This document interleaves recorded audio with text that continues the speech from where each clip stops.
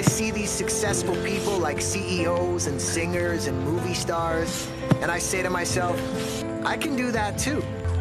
Why can't I? We're all just humans after all.